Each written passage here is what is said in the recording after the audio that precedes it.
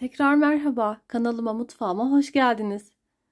Bugün sizlere el açması çok kolaylıkla yapabileceğiniz patatesli börek tarifim olacak. Hemen yapılışına geçiyorum.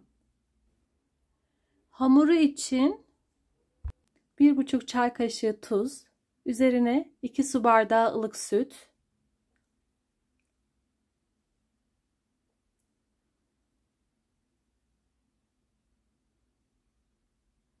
ekleyip karıştırıyorum bir tahta kaşık yardımıyla. Unumu azar azar ekliyorum. Toplamda 4,5-5 su bardağına yakın un kullandım. Un miktarı aşağı yukarı değişiklik gösterebilir.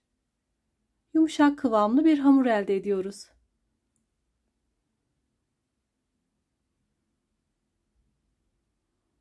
Bir sürede masamda yoğuruyorum.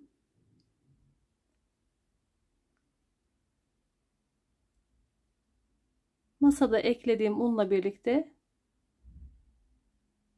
yaklaşık 4,5-5 su bardağı arası un gidiyor.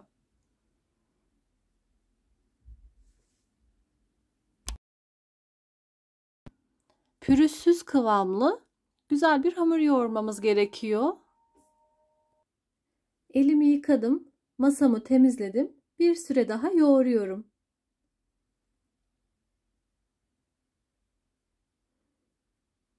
Tüm detaylarıyla sizlere göstermeye çalışıyorum. Yine de soracağınız sorular olursa yorumlardan yazabilirsiniz. Yardımcı olmaya çalışıyorum. Hamurumuzun kıvamı bu şekilde. Hafif ele yapışıyor. Yumuşak kıvamlı.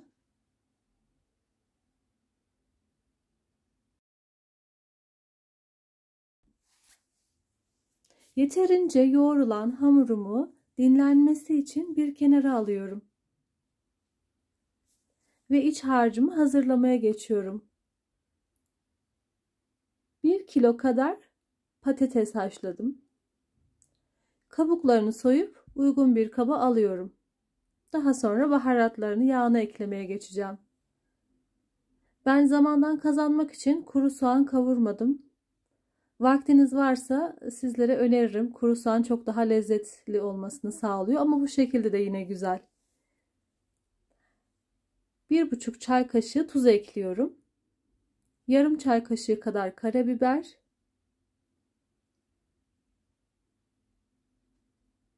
Bir tatlı kaşığı kırmızı toz biber.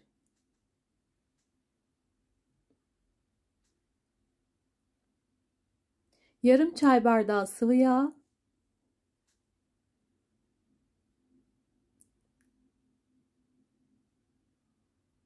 ve nanesini ekleyip bir ezici yardımıyla karıştırıyorum.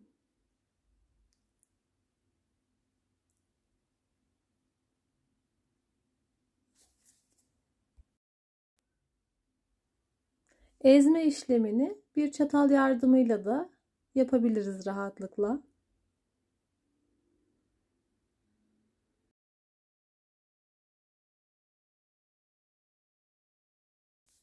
Tüm malzeme birbiriyle harmanlandı. Patateslerim güzelce ezildi.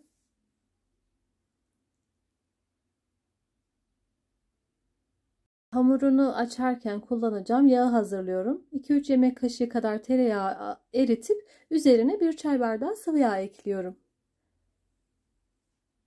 Ve bu arada dinlenmiş olan hamurumu bir kesici veya bir bıçak yardımıyla ikiye böldüm. Rulo şekil verip bezelere ayırıyorum.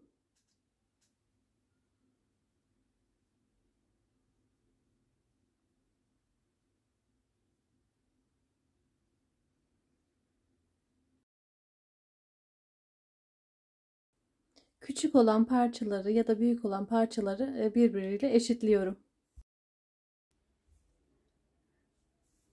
6 adet börek elde ettim ben. Büyük porsiyon olacak şekilde oldu. Dilerseniz daha küçük e, bezelere de ayırabilirsiniz.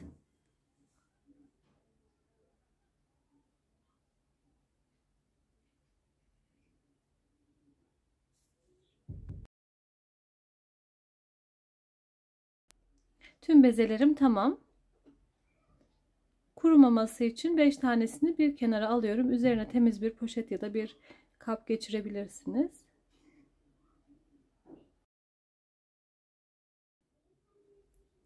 Bezelerimi tek tek açmaya başlıyorum. Oklava ya da merdane kullanabilirsiniz. Tatlı tabağı büyüklüğünde açtığım hamurumu yağladığım başka bir kaba alıp altını üstünü yağlayıp dinlenmesi için bir kenara alıyorum.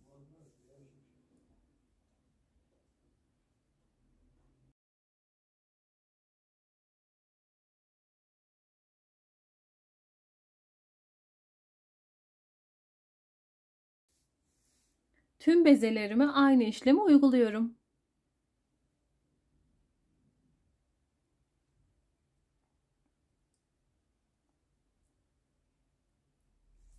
Tüm bezelerimi tamamladım. Masama alıp yavaş yavaş biraz yağ ekleyip açmaya başlıyorum parmak uçlarımla. Arada böyle çekiştirebilirsiniz. Hamurumuz çok güzel dinlendi ve yağın da etkisiyle kolaylıkla açılıyor.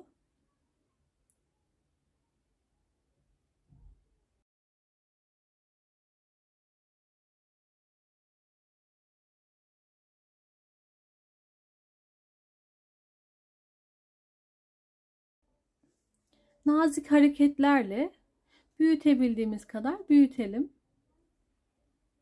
Arada yırtılmalar olabilir. Çok önemli değil. Ara ara yağlamaya devam edebiliriz.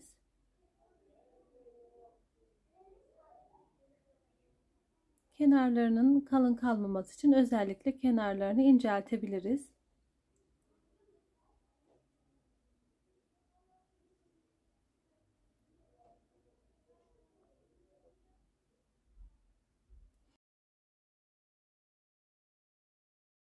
Yeterince açtıktan sonra iç harcımı eşit şekilde dağıtıyorum. Hamurumun her köşesine gelecek şekilde.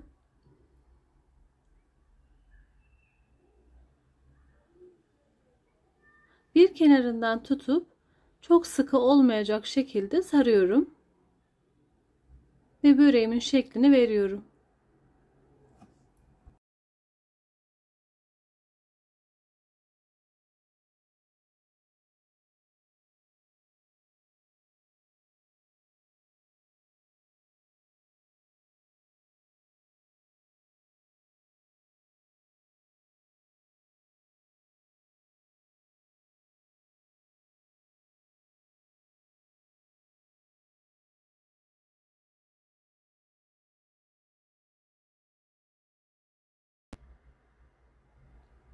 Yağlı kağıt serdiğim fırın tepsisine aldım böreğimi. Masamı temizleyip e, tüm hamurlara aynı işlemi uyguluyorum.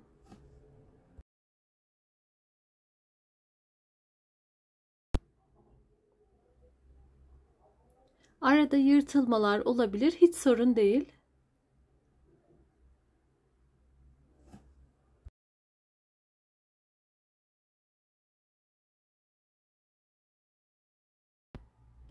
Nasıl sardığımı size her açıdan göstermek istiyorum. Kamerayı bu tarafa aldım. Elimizle hafif hem çekiştirerek hem de yuvarlayarak hem inceltmiş oluyoruz hem de güzel bir doku kazandırmış oluyoruz. Çevirdim ve tamamladım.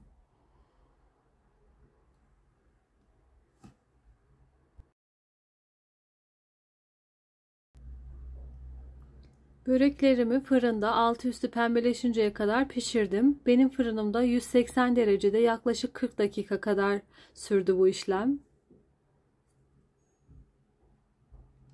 Evet yavaş yavaş pembeleşiyor. Son olarak size iç dokusunu da gösterip videomu tamamlıyorum. Bu harika böreği umarım sizler de dener ve beğenirsiniz.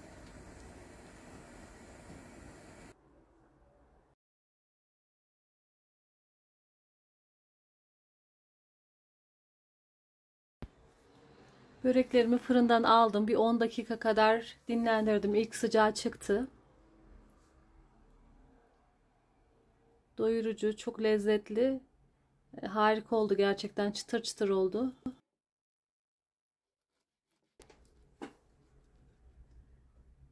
Bu harika böreği umarım sizler de dener ve beğenirsiniz. Çok harika oldu gerçekten. Yufkası çıtır çıtır. İçi de gayet lezzetliydi. Ama sizler kuru soğanla da daha da lezzetlendirebilirsiniz. Gördüğünüz gibi muhteşem görünüyor. Eğer tarifimi denerseniz olumlu olumsuz görüşlerinizi yorumlardan yazarsanız çok sevinirim. Yeni tariflerimden haberdar olmak için bildirim zilini aktifleştirebilirsiniz. Yeni tariflerimde görüşmek üzere. Kendinize iyi bakın. Hoşçakalın.